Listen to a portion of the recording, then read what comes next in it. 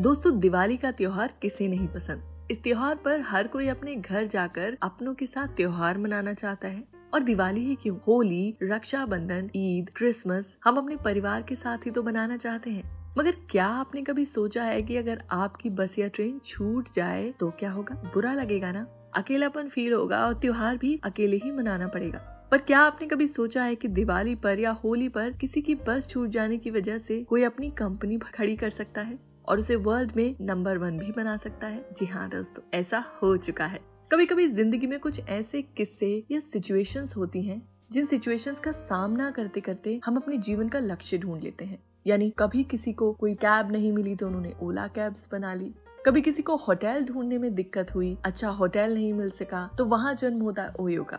और आज जिस ऐप के बारे में हम बात करने वाले हैं, उनकी भी एक बस छूट चुकी थी। और उन्होंने उस बस छूटने को न सिर्फ़ अपने दुख का कारण बनाया, मगर अपनी सक्सेस का रीजन बना लिया। ये होता है ऑन्टरप्रिनर जी हाँ हम आज बात कर रहे हैं रेड बस की सक्सेस के बारे में।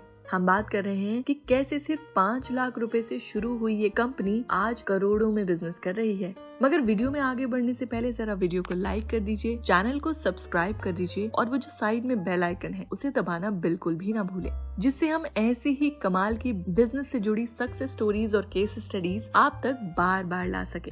दोस्तों, सबसे पहला सवाल उठता है कि आखिर ब्रांड की शुरुआत हुई कैसे, यानी रेड बस की शुरुआत कैसे हुई?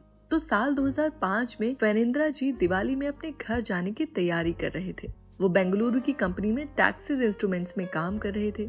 ट्रैफ़िक की वजह से वो समय पर बस स्टैंड पर नहीं पहुँच सके और उनकी बस छूट गई और वो परेशान होकर अपने घर अपने कमरे में वापस लौट आए। घर न जाने के कारण वो दुखी हो गए, लेकिन उस निराशा में उन्होंने खुद को मायूस नहीं किया, बल्कि एक नया आइडिया निकाल लिया। ताकि जो उनके साथ हुआ वो किसी और के साथ ना हो। उनके इस आइडिया की वजह से देश दुनिया में लोग उन्हें जानने लगे।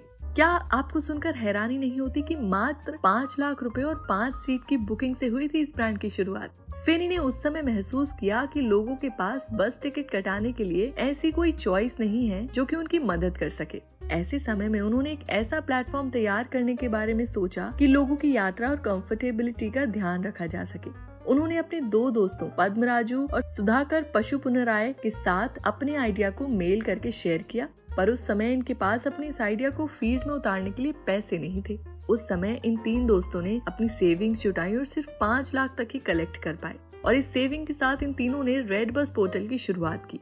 उस समय फेनी जी के पास ऑफ़िस नहीं था तो उन्होंने अपने रूम को ही अपना ऑफ़िस बना लिया। फिर शुरू हुआ स्ट्रगलिंग फ़ेज़ जी हाँ। कभी भी किसी बिज़नेस की शुरुआत करते हैं तो टेक ऑफ़ से पहले स्ट्रगल बहुत होता है, और वो स्ट्रगल इनकी ज़िंदगी में भी था। इन्होंने बहुत सारे ट्रैवल एजेंट से बातचीत की, लेकिन उन्हें निराशा ही हाथ लगी।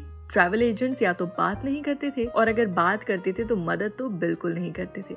और अब समय आ गया था 18 अगस्त साल 2006 का, जब उन्हें पाँच सीट बुक करने को मिली।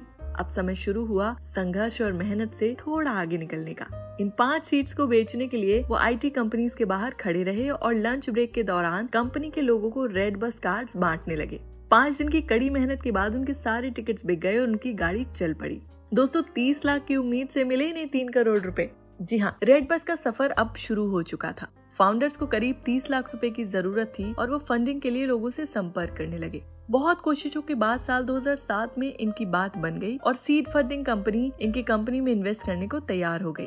सीड फंड ने इनकी कंपनी में 30 लाख के बजाय तीन करोड़ इन्वेस्ट कर दिए। इसके बाद फेनी ने अपनी कंपनी के स्ट्रक्चर को बखूबी समझा और बहुत ही समझदारी के साथ इन्होंने अपने पैसों को इन्वेस्ट किया, नया ऑफ़िस बनाया और बड़ी मेहनत और लगन से काम किया। कुछ समय के बाद कई बड़े बस टूर ऑपरेटर्स के साथ पार्टनरशिप शुरू हो चुकी थी। करीब 500 पार्टनर्स के बाद इस मार्केट पर उन्होंने अपना दबदबा बना लिया। रेड बस पाँच हज़ार रूट पर टिकट बुक करती थी।